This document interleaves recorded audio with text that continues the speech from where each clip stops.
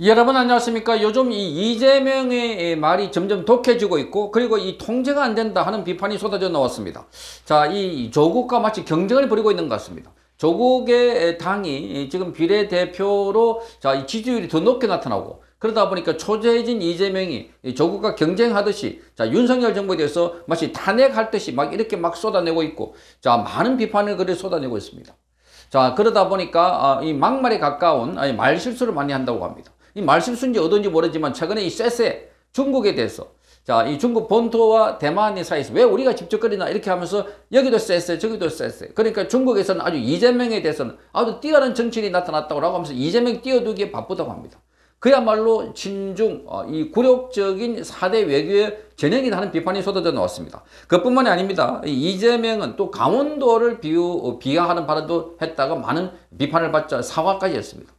자, 강원도에 대해서 이, 이, 그 경기도 북부와 남부로 분도를 한다고 하니까 강원 서도로 전락한다 이렇게 해서 자 그래서 강원 지역에 있는 많은 유권자들 지역민들이 들고 일어나자 예, 또 사과를 했습니다. 자 자기 당에 자 이기 이그 경기도 지사 김동연 지사가 북 경기도가 지금 1,400만 인구가 되니까 이걸 양쪽으로 나눠 가지고 발전시키겠다 하고 자 그런데 이 한동 비대위원장은 그게 자연스럽게 김포를 포함해서 서울특별시로 흡수를 하면 그러면 어, 그 문제도 해결되고 전체 지역 균형 발전도 이루어진다. 자, 이렇게 주장하고 있는데, 거기에 초조한 이재명이 강원 서도로 전락한다. 이렇게 말했다가 또 어, 많은 비판을 받았습니다.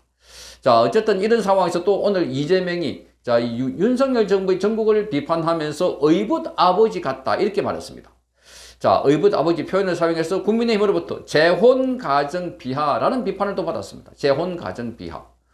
자, 그러니까 이 어부드 아버지 또는 계모, 어, 이런 오늘 표현을 쓰는데, 자, 이걸 보면 이재명은 그야말로 평소에 뭐, 어, 입에 나오는 대로, 어, 그래서 마구 터트려지고 있다. 그러니까 이 이재명이 입이 최대 리스크가 되고 있다. 이렇게 말합니다. 사법 리스크를 말 것도 없고, 그 앞에는, 자, 이 공천 관련해서 이재명의 리스크가 너무나 큰데, 자, 그러니까 지금 이런 문제가 있을 때마다 뭐이 대파 가격이 875원이다. 이거 선전 선동해고 계속 밀고 넘어가 버리고.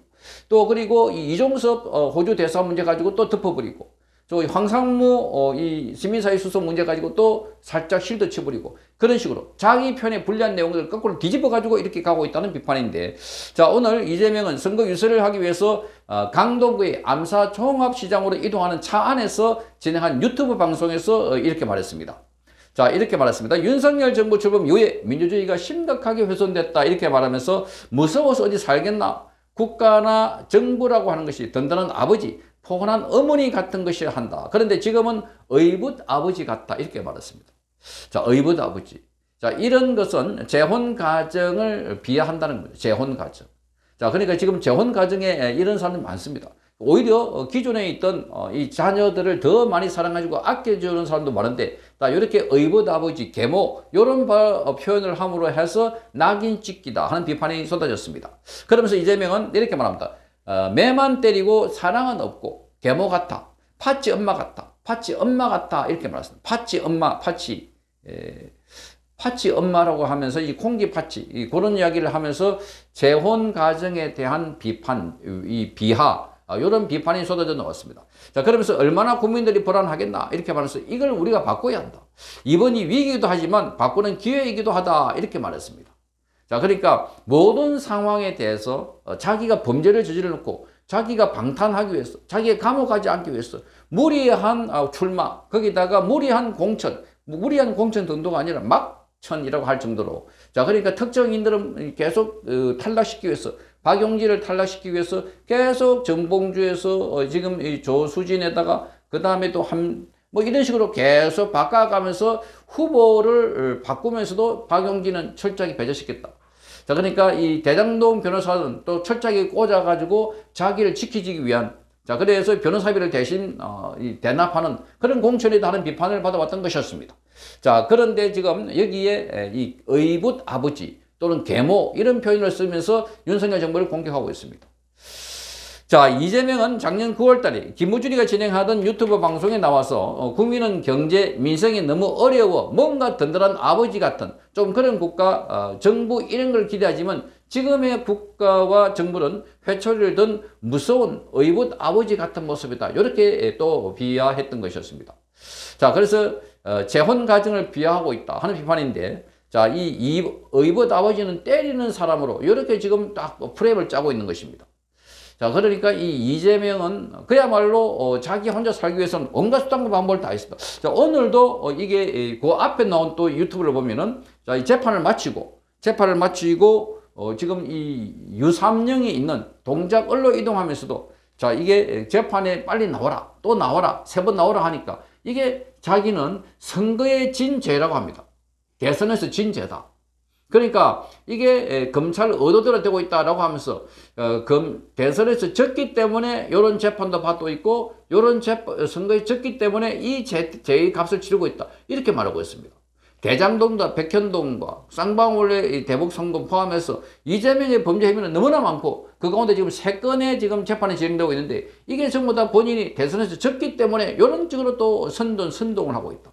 그러니까 이 이재명이라는 사람은 정말 자기 잘못에 대해서 뉘우치기도 않고 반성하지도 않고 오로지 자기 변명 덮어 씌우거나 또는 다른 사람이 탓을 돌리고 있다.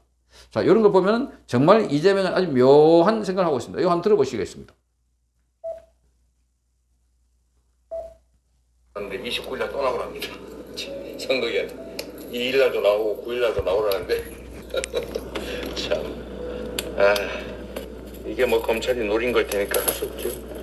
자, 선거에 대선에서 진 죄값을 치르는 거다 이렇게 생각해야 되겠지. 그래도 이번 총선은 꼭 이겨야 되지 않겠습니까?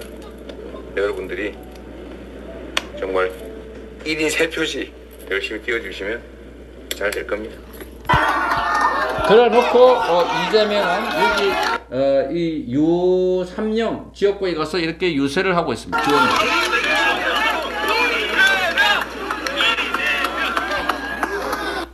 자, 그런데 이것도 아주 교묘합니다. 1인 3표. 1인 3표가 없습니다. 자, 투표를 비례대표 한 번, 그리고 어, 지금 지역구 한 번, 두 번 할 수 있습니다. 그런데 1, 3이라는 것은 제가 비례, 그 지역구 1번이고, 비례대표는 비례대표 정당 3번이기 때문에, 이재명 정당이. 그래서 1, 3, 1인 3표로 하는 걸 그 교묘하게 지금 선거법 위반을 하고 있다. 왜냐하면, 자, 이, 이 특정 정당에 있는 후보가 다른 비례대표 정당을 어, 지원할 수 없게 되어 있습니다. 선거법이 그렇게 되어 있습니다. 특정 정당이 지금 이, 이 이재명의 위성 정당은 완전히 법인도 다르고 어, 정당이 다르고 대표도 다른 사람입니다. 그런데 거기 1인 3표로 하면서 교묘하게 선거운동을 하고 있는데 어쨌든 이런 식으로 어, 작업을 하고 있다 하는 겁니다. 그러니까 어, 지금 윤석열 정부에 대해서 뭐 계모다, 팥찌, 팥찌 엄마다, 또이 계부 같다 이런 이야기를 하거나 자기가 지은 죄와 관련해서는 선거에 졌기 때문에 이렇게 탄압받고 있다. 이 프레임 가지고 공격을 하고 있는. 자 이러니까 지금 이 조국도 잘 하고 있는데 뭐 별 문제가 없는데 그러면서 자기가 멸문제화를 당했어. 그래서 지금 가만히 안 있겠다. 윤석열 검찰 독재 정권 퇴진하라. 이렇게 주장하고 있는 조국이나 감옥에서 지금 어, 창당을 해가지고 지금 보석에서 나와가지고 유세를 한번 하게 해달라 하면서 가족을 동원해서 눈물의 호소를 하고 있는 송영길이나 이재명이나 자 어떻게 대한민국은 야당에서 이렇게 전부 다 대부분 감옥에 있거나 감옥에 들어가야 할 사람들이 이렇게 설치고 있을까 정말 충격적입니다. 자 이게 오늘날 대한민국의 정치 야당이다 하는 점 반드시 심판해서 처벌받을 사람들은 처벌받고 감옥에 가야 할 사람들은 감옥에 가야 할 것이 그게 제자리에 있는 대한민국의 모습이다. 한 것을 다시 한번 확인하는 4월 10일이 되어야 할 것 같습니다. 성창경 TV였습니다.